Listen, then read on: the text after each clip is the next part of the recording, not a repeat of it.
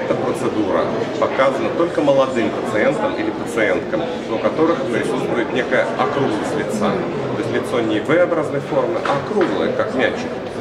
Пациентам после 30 лет а, эта операция противопоказана, потому что сам комок Биша является некой а, поддерживающей структурой лица. И после ее удаления этой структуры лицо теряет опору и опускается вниз. Появляются брыли, появляется провисшая шея.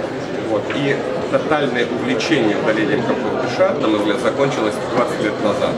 И то, что мы видим сейчас, иногда встречаем, это э, некая либо пассивность, либо отсутствие информированности показаний и противопоказаний на этой операции. Тот тип лиц, о котором мы говорим, да, круглые лица с выступающими щечками, являются отличными кандидатами девочки, ну или там молодые люди э, получают то, чего они хотят.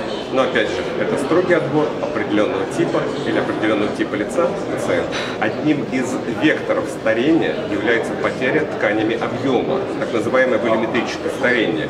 Удаление комков биша как раз вектор именно в то негативное э, направление старения, о котором мы сейчас говорим. Опора должна быть. Теряет комок биша, теряет, жир, теряет жировую основу и, грубо говоря, стареет.